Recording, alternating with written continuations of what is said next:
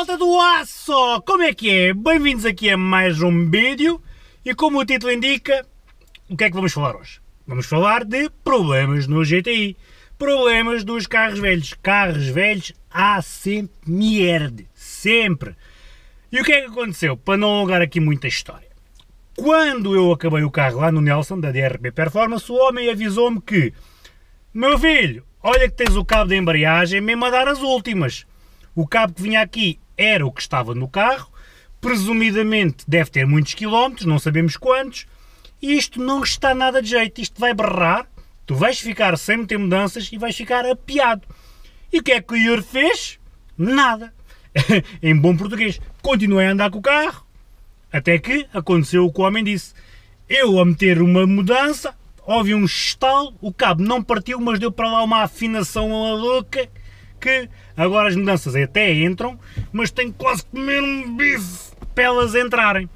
Foi o cabo de embreagem que foi com os porcos e o Yuri não ficou apiado porque felizmente estava ao pé de casa e foi a andar até casa devagarinho, sempre de segunda. Já nem meti terceira para não dar merda. Sempre de segunda, parei o carro à porta de casa e o que é que eu fiz? Autoparte. E o que é que mandei vir?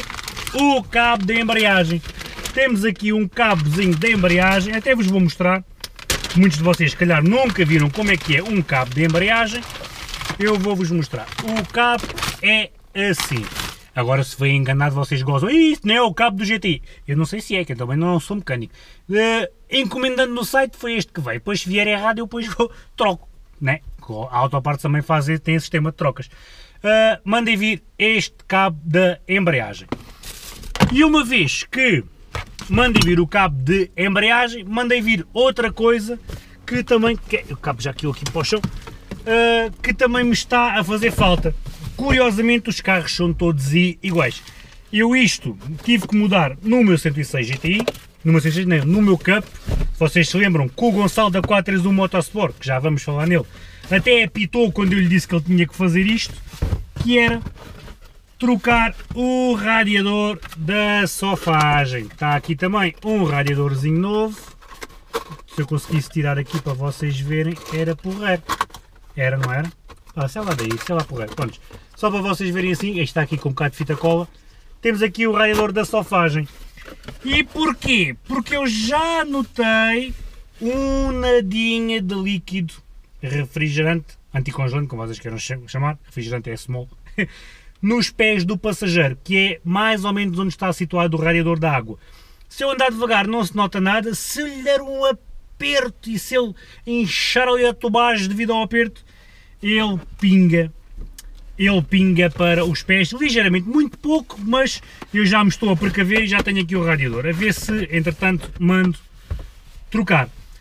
Em nível de preços, lembrando que isto foi peças da Autopartes Logístico, o radiador da Sofage foi 14,57€, muito barato, e o cabo da embreagem foi 26,35€. Lembrando, Autoparts Logística é um, apoio, um apoiante do canal desde o início, tem sempre material à disposição e os preços são fantásticos e é de onde eu mando, mando e tenho mandado vir todo o meu material.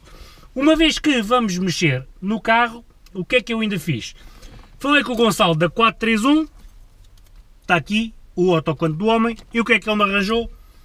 Os tirantes das mudanças com freio. Eles têm aqui um freiozinho para trancar.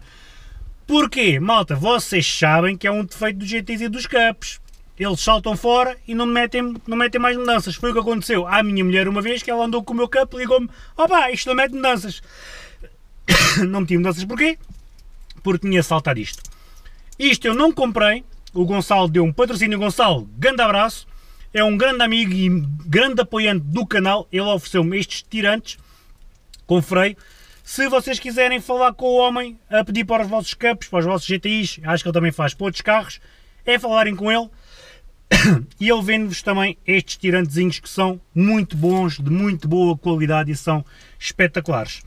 Ainda trouxe lá do Gonçalo o apoiozinho de baixo, mais rijo, vai-se fazer aquela vibraçãozinha, mas também não vai oscilar tanto o motor e não vai abanar tanto ali com os chulabancos. Também, o homem também vende, é o representante de, destes flexes. Estou a ficar com tosse. Parece só o gajo anda t-shirt, já vem as tosses e as gripes. Bem feito, para não, andar, não andares armado em corpinjitas. Falem também com o homem, ele também vende os, os ex-flexos, uh, tem várias rigidezes, acho eu, acho que ele vende todos os tipos de rigidez. Falem com ele que ele também arranja. A título de curiosidade, o meu GTI também tinha esta pecinha avariada. Epá, eu não sei bem como é que se chama, sei que isto encaixa aqui lá numa cena, não sei bem como é que se chama. Eu não sou mecânico, vocês sabem que eu não sou mecânico. Também tinha esta peça velha e eu voltei a comprar uma velha, mas em muito melhor estado que a minha. E esta peça eu adquiri no meu amigo, peças e pecinhas, tudo o que é material assim usado, GTIs e cups, os homens têm tudo.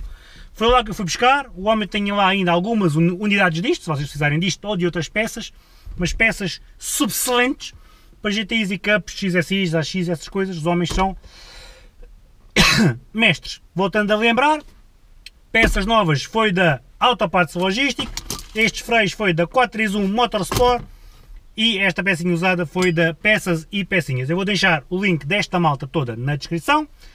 Obrigado a estas empresas pelo apoio, obrigado a vocês por assistirem e foi um alerta. Vocês que têm cabos de embreagem velhos, troquem o cabo antes de ficarem apiados e se tiverem GTIs a precisar disto, metam antes que dê bosta.